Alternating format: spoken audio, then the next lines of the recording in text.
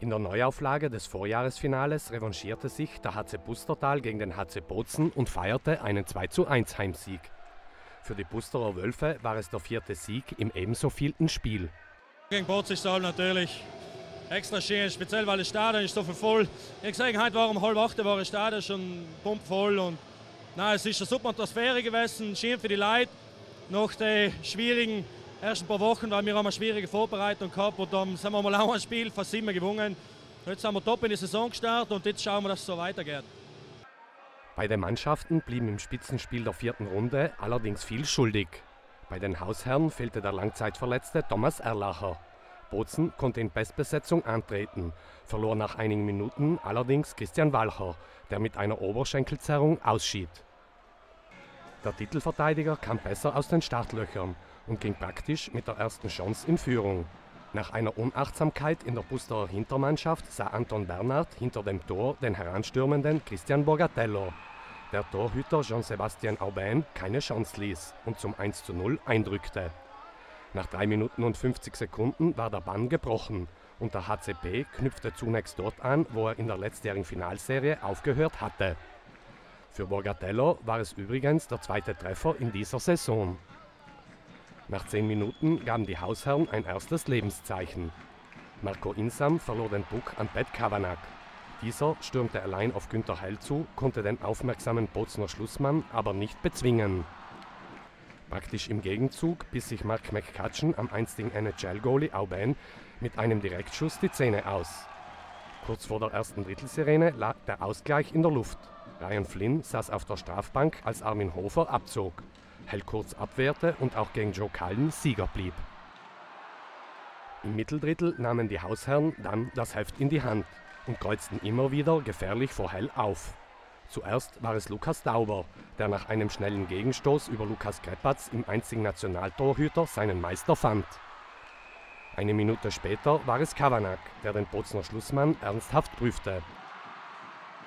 Nach 26 Minuten und 8 Sekunden war es dann soweit.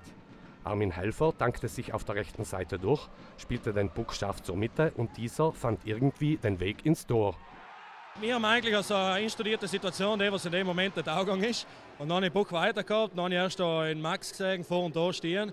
Aber dann hat der Verteidiger da ein gutes Spiel gemacht mit der Schlittschuh, das hat mal Pass von mir und dann habe ich gedacht, jetzt probieren wir zu schießen. Und dann hat er Glück gehabt und ja, 1-1 ist gewesen und dann haben wir es gut heimgetan. Ja. Danach war wieder Bozen an der Reihe und McCutcheon hätte die Weiß-Roten zum zweiten Mal in Führung bringen können. Doch der US-Boy konnte Aubin nach einem Alleingang nicht bezwingen.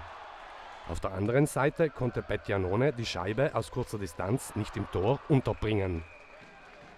Max Oberrauch machte es wenig später besser. Nach einem herrlichen Zuspiel von Joe Jensen dribbelte er hell aus und schob nach 37 Minuten und 56 Sekunden zum verdienten 2 zu 1 ein. Ich selber keine Ahnung, ich tue meistens die Augen zu. Aber nein, es ist. Ich weiß nicht genau, was da in mir gekommen ist eigentlich. Ich weiß nicht, ob das von Rollerhockey kommt oder keine Ahnung. Nein, aber weil äh, ja, ich bin einfach froh gewesen, dass er drinnen war. Also wer noch wie es da noch reingeht, ist noch gleich und hat halt vielleicht mal das Glück gehabt, mal ein schönes Tor zu schießen. Die Wölfe blieben auch nach dem letzten Seitenwechsel am Drücker.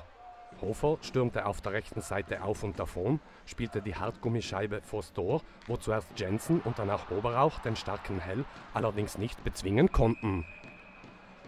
Wenig später legte Kavanagh für Janone auf, dessen Schuss allerdings zu zentral ausfiel. Als der Vizemeister in Überzahl agierte, wurde es für die Gäste erneut brenzlig.